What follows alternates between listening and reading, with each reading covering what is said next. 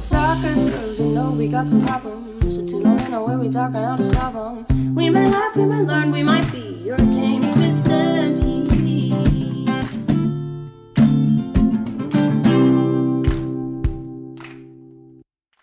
Hi.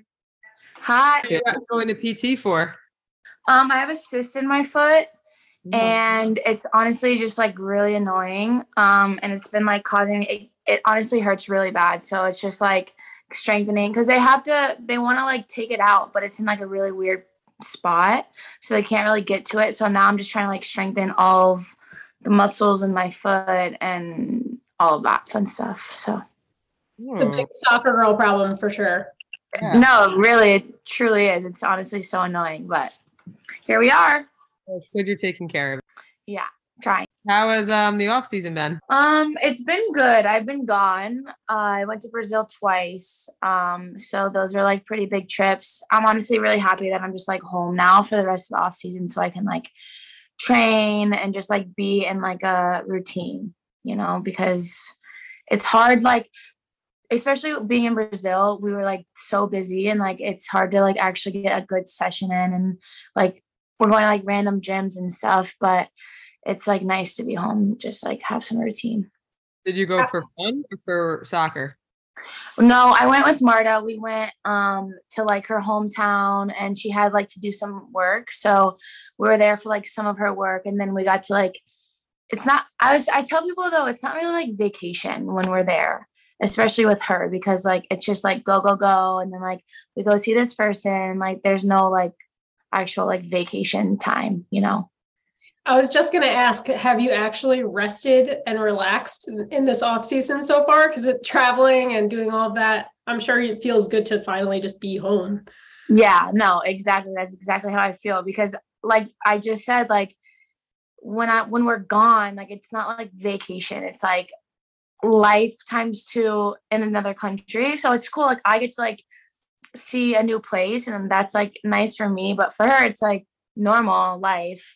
Um so now that I'm here, I feel more like I'm on vacation to be honest with you. But how, how are you resting? Like, I'm sure there's a, a balance because, like, you want to get back into it and get ready for the next season, but you also want to rest. So, like, Yeah. how are you balancing that out right now? I think it's just like my time, like how I spend my time because like I train, like if I'm not training in the morning, like on the field, I go to this place that I work out at like four times a week. So I have like today, Wednesday is like my day off.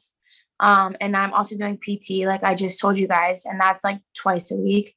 Um, so it's like, okay, when I'm done training, which is normally depending on if I'm training twice in the morning or once, I'll get done around like this time um and then so how do i spend like the second half of my day? That's like my time to rest and just like relax. And i have a friend um she played with me in college. She's from france. So she's like in town for two weeks. So it's also now like i get to actually like kind of focus on what i'm doing after because i have to like i don't know like we're gonna go do like fun stuff like go to a basketball game tonight and stuff. So it's like I'm I am in off season, but I'm it feels like I'm still kind of like in season, if it makes sense. So we, we always joke that there is no off season. Did you just say that, Shannon? No off season. There's always yeah.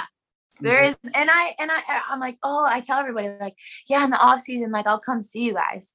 But it's like this is like almost the same exact thing as being in season. Exactly like we train in the mornings and then I get done at like two or three. And like after that, I'm like toast. I don't want to even get off the couch. Like some girls are like tanning and I'm like, I don't want to step foot outside. Like I don't even want to be in the sun. like couldn't be me. But yeah, it's how I feel right now, to be honest with you. So yeah. well, you get to balance. the game after this at least, right? I So that- know. Who who do you think's gonna win? Who do you want to win? I'm so torn because I it would be so sick if Morocco won, you know, like that'd be so sick. But then are they gonna win the final? Like are they gonna win the whole thing? I want them to win the whole whole thing if they're gonna win, you know? But I'm my friend is here from France, so I'm like shit, you know, like go France. And also I'm living with a Brazilian. She hates Argentina. So it's like she's like, well, I don't want Morocco to win, and then them get to the final and Argentina just like blow them out, you know. So there's so many scenarios. I don't know. This World Cup has been wild. This is like you have to be like that person who just cheers for all the teams. Yeah, I'm just like, woohoo! I'm USA didn't make it. Like, but whatever makes everybody happy, you know. Oh yeah, games should be good. Yeah. Uh, so yeah, we'd love to like just dive in and like find out. So you started on Pride a few years ago now, right? And Mhm. You started as a practice player and then you've worked your way up and now you're just crushing it. You just signed a new contract for 2 years, which is amazing. Um so we just love to know like how has this journey been? How did you did you always know you wanted to play pro? Did you always know you wanted to play where you were from and and how that kind of uh went about? Yeah, it's actually kind of wild. I okay, I, I'll just like start from I didn't even enter my name in the draft because I was like I didn't know how any of it worked. Um, and so I was going over to play in Dubai, like in this tournament for a little bit when I graduated. So I was just like, I'm gonna go do that, and then I'm gonna go and like from Dubai just go to Europe, and I was like gonna go to France and stuff and just like live my life, you know, for just a little bit. Didn't enter my name in the draft. I think like a week or two before I left, I got a call from the pride coach at the time, and he was like, Hey, Carrie, like, we're interested. We want you to come out and like train and um, like possibly just like see how things go, whatever. And I'm like, uh, yeah, I'm actually leaving. I'm going to Dubai. Like, not sure when I'm going to come back. I don't even have like a flight booked. Um, I was like, but when I come back, like, can I let you know? And then like we'll figure it out. He's like, for sure. He's like, did you enter your name in the draft? And I was like, no. And he's like, well, that might be a problem, but like we'll address it when it comes. I was like, okay, whatever. So fast forward, I come back in like July, um, and I go out and I train. And the GM at the time was like, hey, like we want to sign you, but you didn't enter your name in the draft, so you're not considered a free agent, and like we can't. Like there's like no way about it. And I was just like, what? Like I had no idea. So yeah, practiced that whole year and then signed the next year. And then that was COVID. And there was an incident that happened and I ended up getting kicked off the team. And I was like, you know what? I wasn't even sure if I wanted to play in the first place. Maybe this is just like a sign, like I need to get a real job. So I get I apply for a job as a financial advisor. Has nothing to do with like what I did in college, by the way. Um, and I got the job and I was like, okay, this is it. And the next day, the coach called me back and was like, hey, we want to talk. I was like, about what? Like, I just got kicked off the team. Like, what? So he's like, we want to bring you back on for like the fall series. And I was like, oh my God, I haven't worked out. I haven't even like looked at a gym in like four weeks. Like, I don't know. And basically, he was like, don't get too out of shape because we want you to come back. And I was like, oh my God. Didn't tell him that I had just accepted a job. Like, there was no talk of that. So I was like, all right, well, I'm going to do it. So go back, play the fall series, and then sign for another year, which was last year. And I basically like didn't play like at all last year. I was like hurt off and on the whole year. And I just like never really got the chance to play. Um, and I questioned again, like whether I wanted to do this again. Like, should I do it again?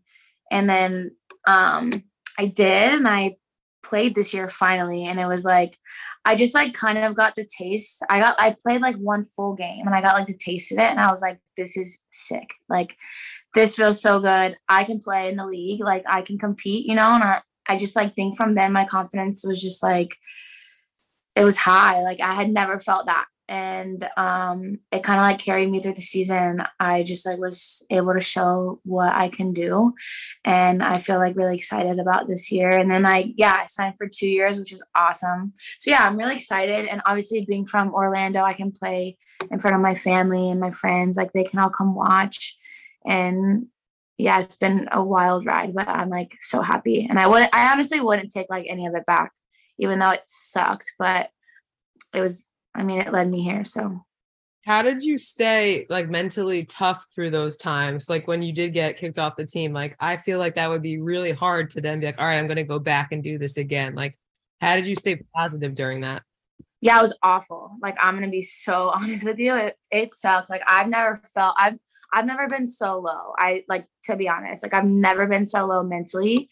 And like the thought of going back and like facing the team and I had to like apologize again to the team just like by myself this time like and I like got through it. And I think after that I was like if I can get through that like I can get through like hard things. Like I I don't know. It just like kind of just I, I have no idea how I did it. I like I also actually see I have like a sports psychologist now that's helped me like so much. Um and I never thought I would like do that because there's like you know that stigma around like mental health and all that.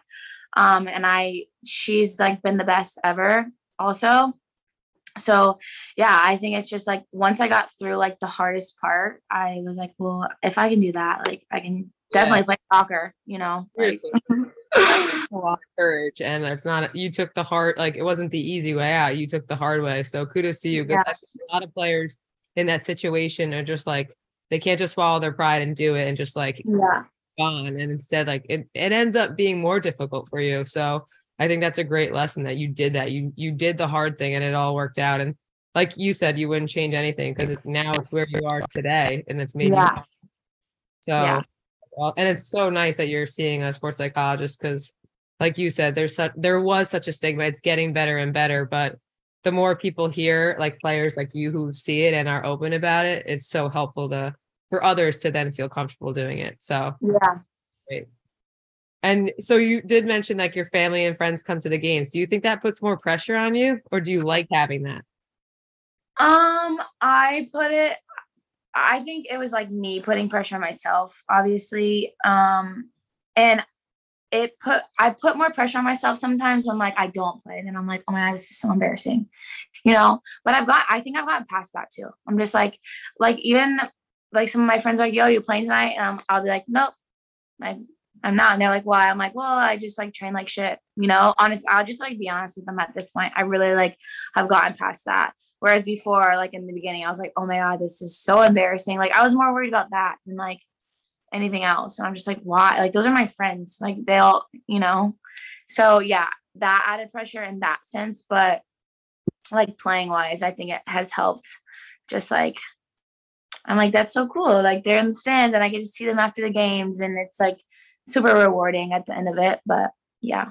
I love that. And I we have to go back to that because I think that you just like brought a totally different perspective to, you know, like starting and playing time and not playing time. And if you like reach a point where you're like, it's not the end of the world and you don't treat it like it's the end of the world, it allows you to get back in your next training session and have a better training session and work your way yeah. back up to having playing time again. And I, it's funny, I don't know why we like attach this like embarrassment to it. Like, hundred percent world is ending if we're yeah. not starting lineup mm. or maybe we don't play this week because it could be for a reason entirely separate of you. Someone else's, you know, abilities on the field versus a specific team might be better suited for that game. And yet we still like attach this big embarrassment to it. How did you like when did you realize or like how did you just like almost remove your ego from the whole playing time aspect because that's what it really is at the end of the day is our ego and how we feel about ourselves. I think honestly it's like i don't know if there was like a specific time where i was like who cares? I think there was definitely like multiple times where i was just like i kept telling myself like who cares? Like it's just like you that cares. It's and my best friend she like we played together in college and like then we played together on pride and i talked to her a lot about it because like she felt the same way. She's like when she because she's a year older than me and she was on pride before me and she was like i'm just like embarrassed. And then i felt that and i was just like oh my god. But i think it's like putting the team before yourself. Like for me i reached a point where i was like okay like winning is more important to me and like my team than it is like my personal pride. Um and i also i think i kind of gain that confidence where I was like, well, I know I'm good enough and I know I can play and I know I like, should I be on the field right now? Yes, no. But like at the end of the day, like I'm not gonna let this like carry over and ruin me for like the rest of the season because that was what was happening to me. Like I let that embarrassment and then I would get like mad and then pissed and then I go into the next day and I train again like shit. I'm like, well, I'm not gonna like play for sure if this is like what I keep doing. And it was like a spiral effect for me, like personally. And that's something that we talked about with my sports psychologist. She's like, well, it's just like a downward spiral. Like, and, and I'm like, yeah, I know. Like, I was just like so aware that it was happening, but I like wasn't doing anything about it. So yeah, it, it's just like, I think it's just like a constant journey of like learning and then like doing something about it. And then if it happens again, it happens again, you know? But I don't know. It's it's a constant struggle, but I think I I've like kind of it's like mind over matter, and I've kind of like gotten past it. I'm hearing so much about self awareness, and then also about how you are so accountable. Like even apologizing to your team, like you're you're admitting that you didn't play well and that's probably why you didn't you know play in a game. It's just so refreshing because i just feel like a lot of players forget like being accountable is so important and under like like reflecting on how you're doing and being like okay this i'm not a victim of this situation. I, there's you know uh, there's a rhyme and reason. So it's just really nice reminder to the players listening like hold yourself accountable and really like be 100. realistic and honest with yourself and it, you're gonna have so much more fun in soccer if you're doing that so that's such a good takeaway from yeah. your entire experience there um so we would love to know what do you think sets you apart as a defender right now in the league?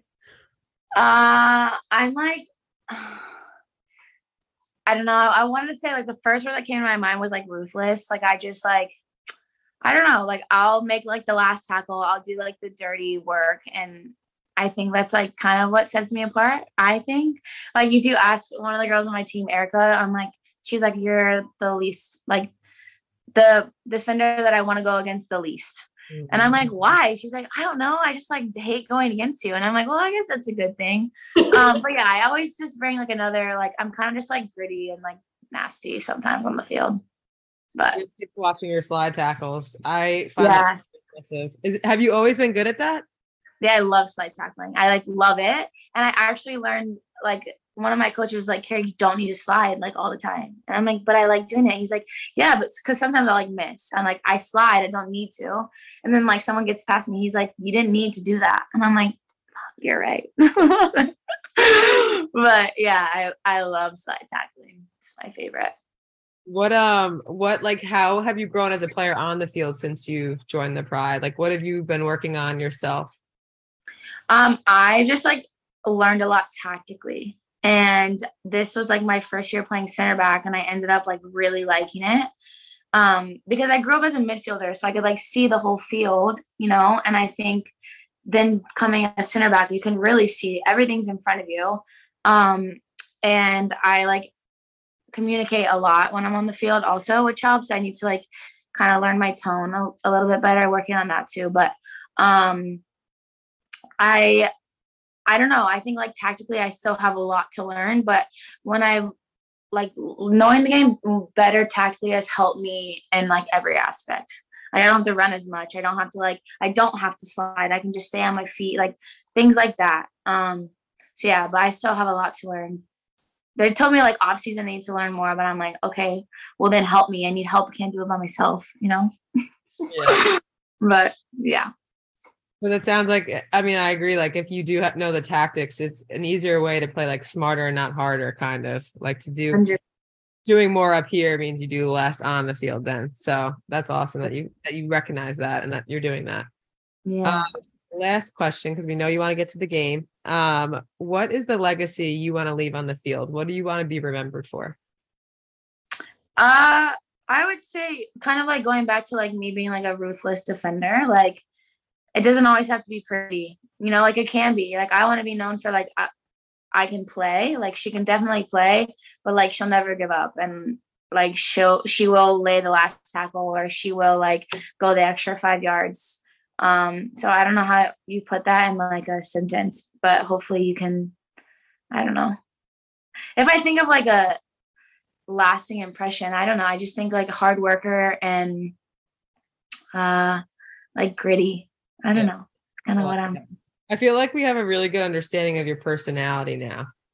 Like Do you? I, I feel like that you're a really hard worker. You're like, like you're honest with yourself. Like you're gritty. I'm honest. That's the downfall. that goes back to like the, you know, the whole like psychology. I'm like, well, I played like shit. And they're like, here, you don't have to say that. I'm like, well, it's true. That's awesome. Think a lot of listeners can relate to a lot of things that you said today. Like it's it's it's really cool. So thank you. Um can you just do a quick rapid fire? For sure. Let's do it. Teammate you want to be stuck on a deserted island with and why? Oh God. Um, I'd probably say Gunny because she's like, or maybe not Gunny. Okay, Marta, because she can definitely last in the wild with like a stick and a knife. That's a solid reason. Uh, what teammate would you call to bail you out of jail? Um, I'm not so good at this. Maybe, um, Caitlin. Why? What she just She said. keep, she keep a secret for me. And I'm I'm sure she'd be. I love that response. Usually people are like, she won't judge me, but you're like, she'll keep the secret that I was Yeah. wrong. Like no, everybody just needs to know that. Okay, the teammate you would text the most random things to. Erica. Teammate you want to borrow something from their closet. Uh, Darian. What's your style like? Darian style. It's always changing. It's so sick. Like she'll come to a game. I'm like, damn, well, dude, you just wore a completely different outfit last week, but you rock like she rocks it all. Oh, that Oh, is I'm envious people that can do that. Yeah, it's kind of annoying. Um, the teammate, the teammate that you would watch a reality show about. uh, I would say Sid, but she's not on our team anymore. Um, maybe We were just saying that. That that's she's so hilarious. If I'm we like, could could fund watch- the show, I would watch your Instagram stories like literally all day. It's I, hilarious. I just said I watched her videos of her and her kids making lasagna for like 20 minutes. like rewatch it. How is this lasagna gonna come out? um, but maybe uh maybe like Gunny. She's she's a character. Yeah, nice. What what about oh sorry, I was gonna say teammate you would want to binge a series with. Um uh, I'll say Megan. Nice. We can hang. Okay, teammate you would want to go out to eat with. Uh Marta. Entertainment. Is there any specific food that you guys love eating? Yeah, actually she's making rice beans and like churrasco steak. She like loves so good. yeah. It's like right up my alley. like simple but so good. Mhm. all right. And our last question: What is your biggest soccer girl problem? Oh God, I'm always injured. That's like such a problem for me.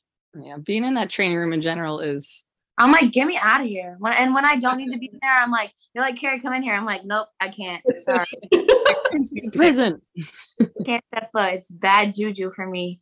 That was a good soccer problem. Well, Carrie, thank you so much for coming on. This was awesome. And we are so excited to continue to watch you crush it. And hopefully we get to come to a game soon. Yeah, let me. Where are you guys at? I'm actually I live in Jupiter, so I'm not that far. So I really have to come.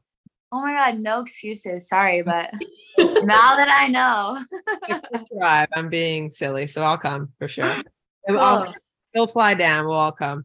Uh, cool. Well, it was nice to meet you guys. Thank you so much for having me. Thanks for coming on. It was great to meet you.